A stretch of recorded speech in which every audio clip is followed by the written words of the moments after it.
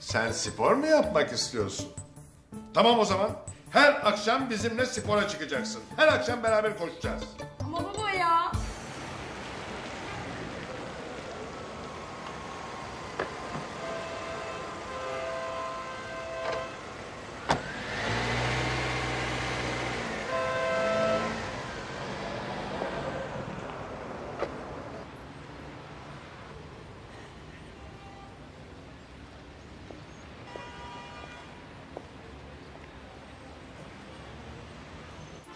Nasıl? Rahatladın değil mi? He vallahi çok iyi geldi. Bana bak. Beni yanına alacaksın değil mi? Bu gidişle müjdeyi bırakıp seni alacağım namussuzum. Bu da biraz da boynuma ya. Tamam. Sal kendini sal rahat ol. Şimdi iyi dinle beni. Levent Üsteğmen'e gidip şöyle diyeceksin. Komutanım böyleyle böyle oldu diyeceksin. Vedat'tan güzel nizamiyeci olur dersin tamam mı? Ula sen çavuş değilsin çünkü.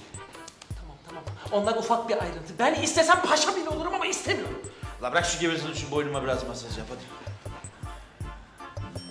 Oh. Aferin sağ ol sağ ol.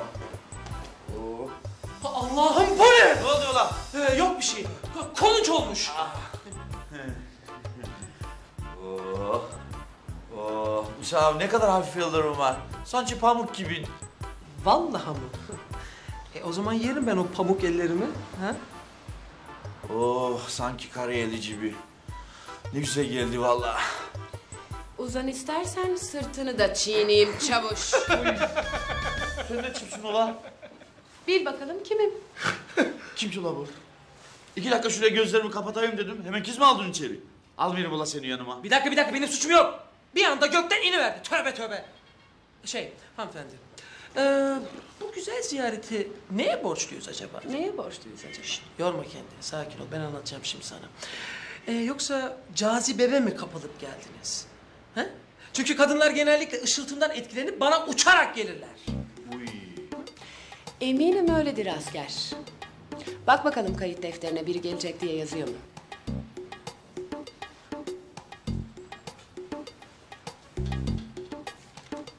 Burada bir not var. Yüzbaşı deniz geleceğiymiş. Ee, Geldi mi peki? Celmadi bir işin mi var dedi yüzbaşı ile? Yok ama sizinle çok işim var galiba.